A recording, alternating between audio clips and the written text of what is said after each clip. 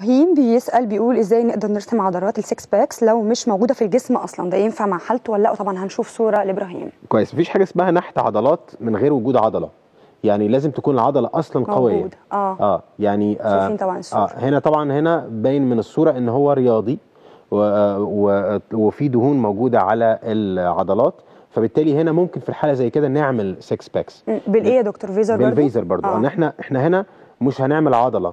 إحنا هنبين العضلة هنبرزها شوية وهنبرزها آه. عن طريق ان إحنا هنشيل الدهون السطحية اللي موجودة عليها سواء كان في المنطقة اللي هي أعلى العضلة اللي في الصدر البنش مم. ومنطقة العضلة هنا ممكن ننحت له العضلة ونشيل الدهون اللي عليها آه. ولكن لو هو ما عندوش عضلة قوية ومش متقسمة أصلا أها. صعب جدا إن إحنا نعمل الموضوع ده لأن زي ما قلت كتير قوي في حلقات قبل كده إن لو سيبنا لو عملنا لو حددنا دهون بس وعملناها مربعات هي دي بعد كده هيبقى فيها مطبات والدهون دي آه، ممكن تبقى مش منتظمة وشكل البطن هنفرح بيه بس لمدة شهر بعد العملية لكن بعد كده هنلاقي الموضوع شكله سيء جدا. لكن إبراهيم عنده أصلا العضلات موجودة فاحنا فبالتالي نبرزها له هيستفيد منها. بالشفط بالدهون. طيب okay.